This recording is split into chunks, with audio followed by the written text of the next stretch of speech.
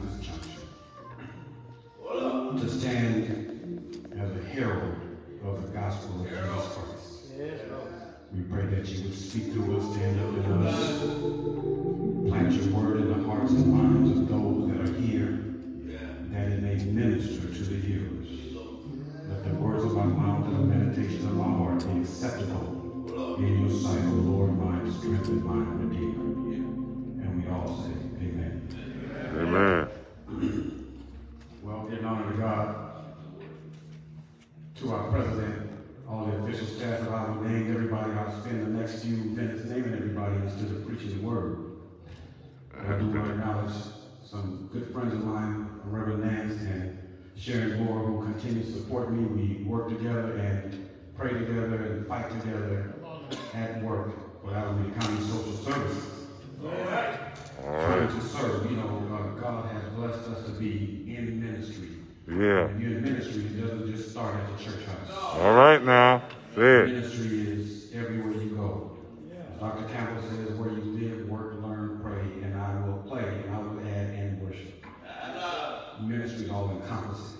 It must be the call of your life. Yes, sir. So thank God for all of you, Bishop Robinson and different other ones.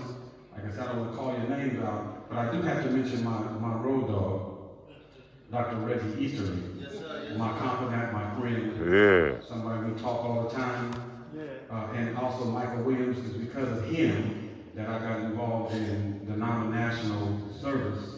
He was the first one that saw me and put his hand on me to say, be Dean of Christian Education for Berea District.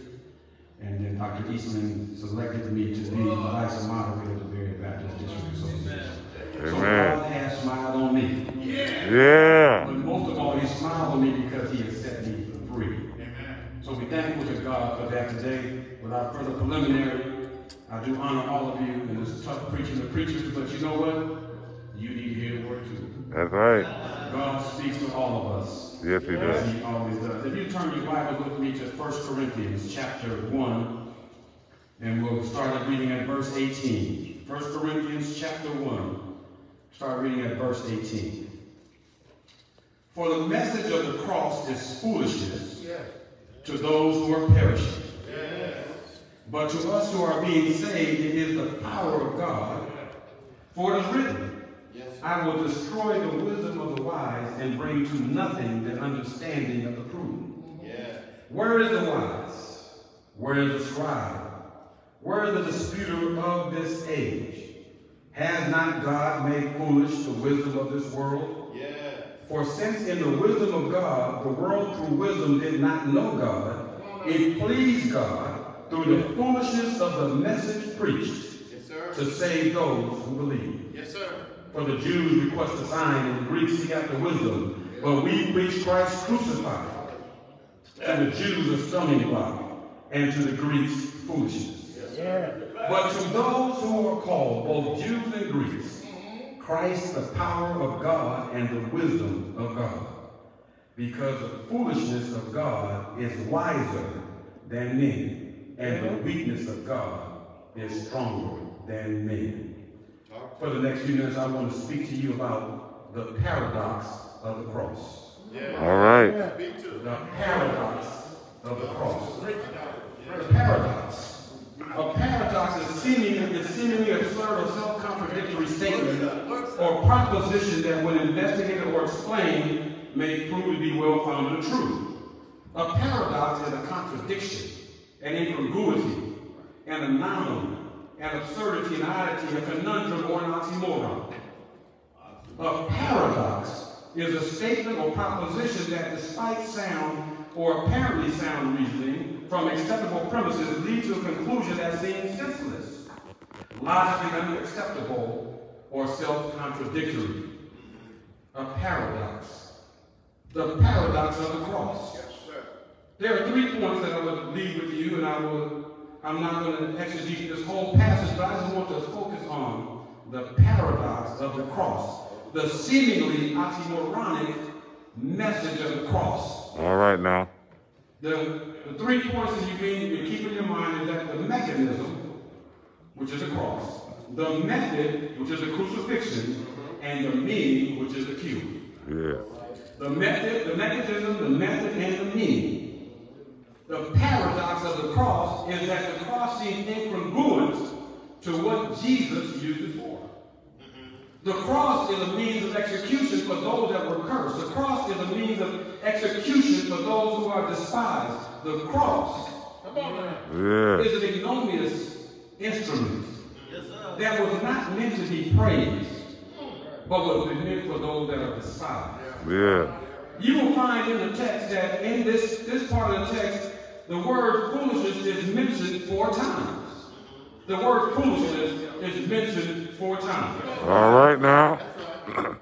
He starts off this pericope by saying, for the message of the cross. Yes, sir. Yeah. So the cross has a message. Yeah. The cross speaks. The cross calls. The cross talks. The cross beckons. And There's a message in the cross that we need to understand. All right.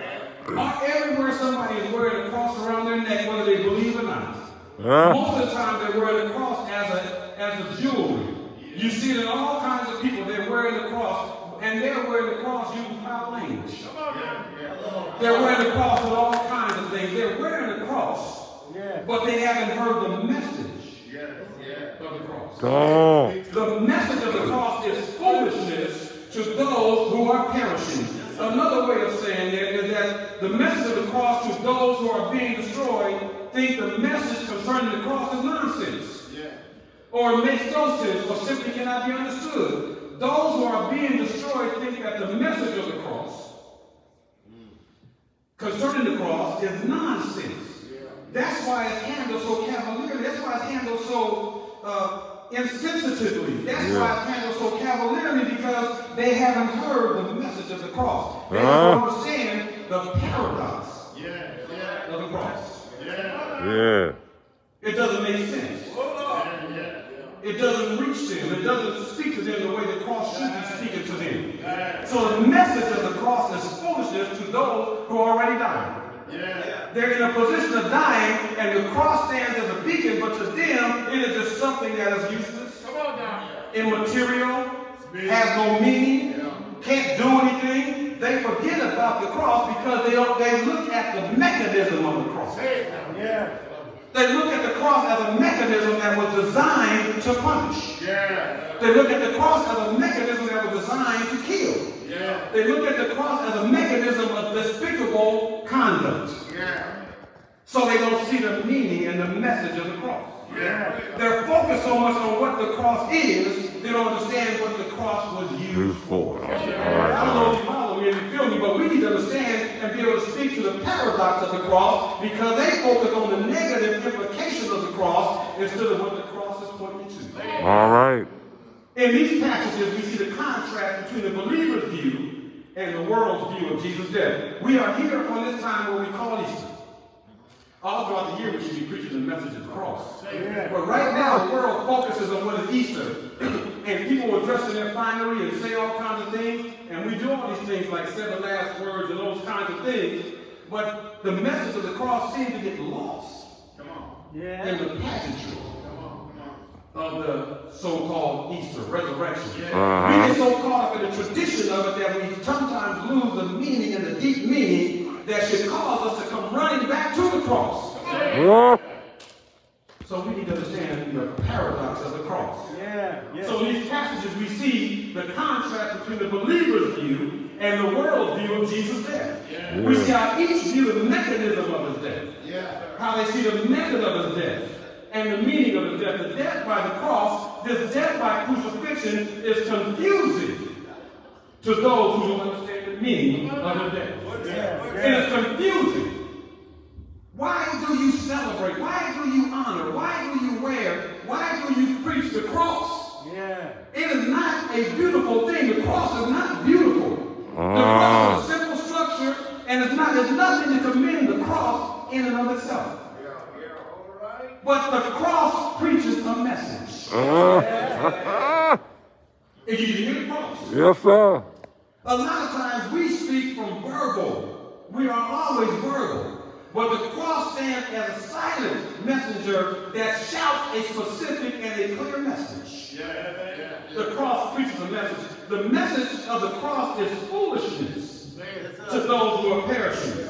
But he says that to us, to you, me, and all of us that embrace the meaning of the cross, it is the power of God Yeah. that's the paradox of the cross is that to other people that are perishing is foolishness. It doesn't, it doesn't have any meaning. It doesn't mean anything. But to you who have embraced the cross, come on now. To you who have embraced the cross, it is the power. It is the power and authority of God to free you from your condition, to free you from your mind, to Yeah. free you from all the things that have you bound. The message of the cross is a paradox because those who don't understand it don't see it.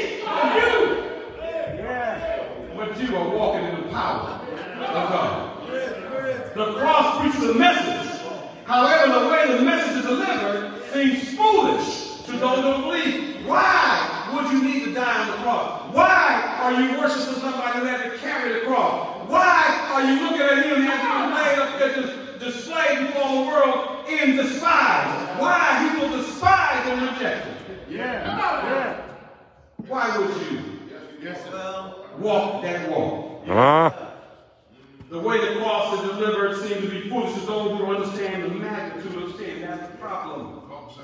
They don't understand the magnitude of what the condition that they're in. They don't understand the magnitude of the human condition. Yeah. Because sin is so great, so ignominious, so despicable, and so destructive, the price paid for sin must be in proportion to the crime. I don't know if you heard. All right. Because the magnitude, magnitude of sin is so ignominious, so despicable, and so destructive, the price paid for your freedom has to be in proportion to the crime. All right. You don't send somebody to death row for just stealing a piece of candy.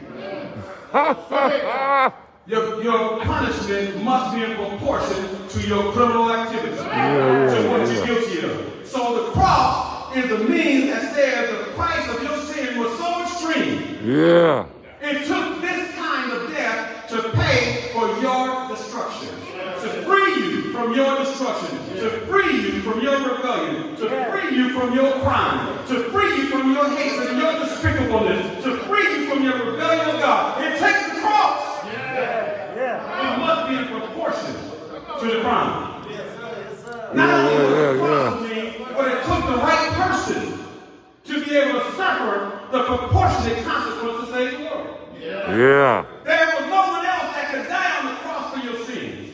There was no one else that could do that. The paradox of the cross is that God took on human form to be like you. That's a paradox. Why would God condescend to look like this creature? Why would God love you so much that he took on human flesh? Why would God come walking in the garden looking for you? He's God. People don't understand the love of God.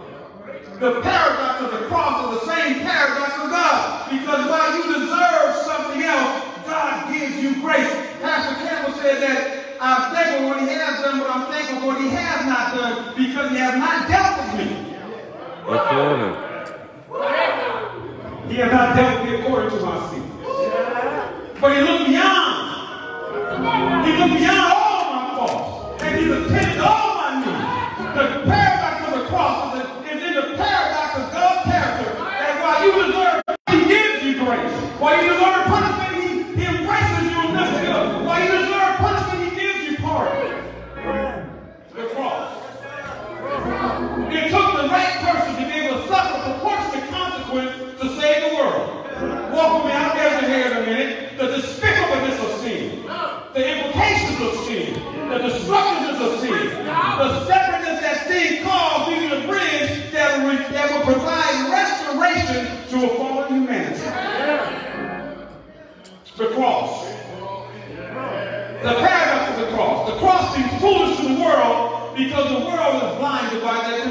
Yeah, the yeah. cross seems foolish to the world because they don't recognize they are condemned prisoners. The cross seems foolish because the world is ignorant of their sickness. They do not accept their diagnosis. They do not see their degradation. They do not see the bridge is out while they're speeding on the road to destruction. The bridge is out. They right down oblivious to their condition. That's good. But the cross is that bridge that keeps you from destruction. Yeah. The cross seems foolish because the world has not heard the weather report. They are ignorant to the atmospheric condition that is prevailing. The cross seems foolish because the world is rebellious and rebels in their rebellion. The cross seems foolish because the world is blinded by darkness and refuses to come to the light. The cross seems foolish and the paradox is lost on unbelief because the focus is on the means and not the mean. Ah, Here's the paradox. Yeah. Here's what confuses that something so despicable is made acceptable. That an ignominious death gives accessibility. That a despised death brings reconciliation. That a cursed death brings restoration. That an unholy death makes one holy. That a place for the outcast brings inclusion. The place for the condemned brings pardon. The place of defeat brings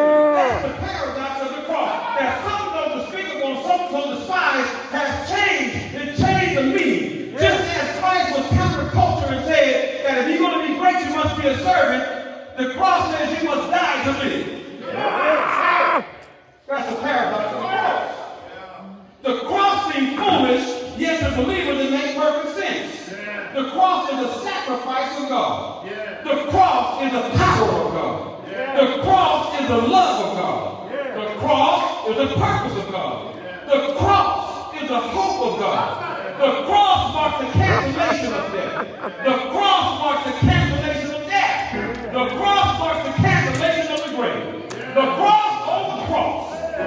Because when I see the cross, I see my salvation.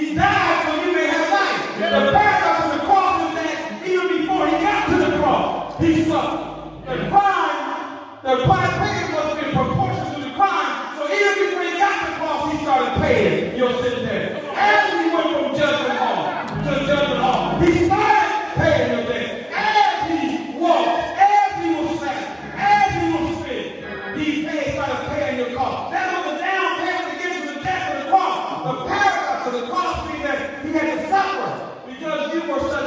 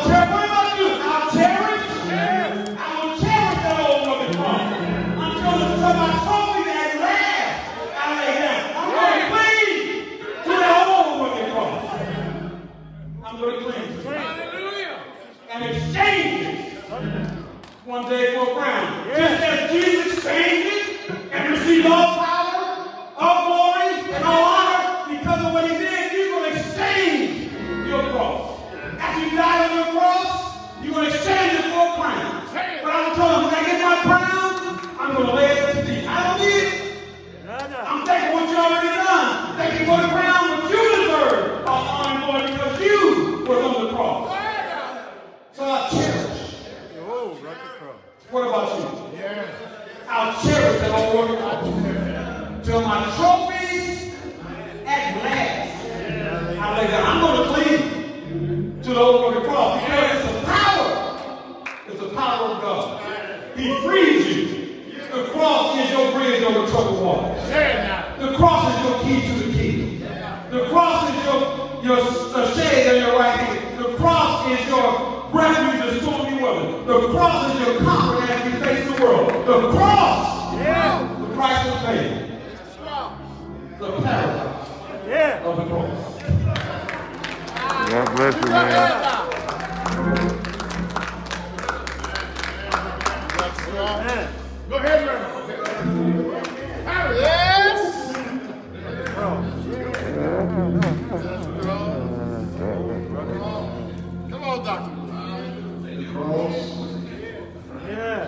e dar